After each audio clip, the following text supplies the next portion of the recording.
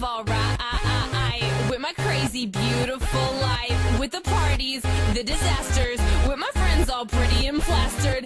Every night we're down to go out, waking up on a different.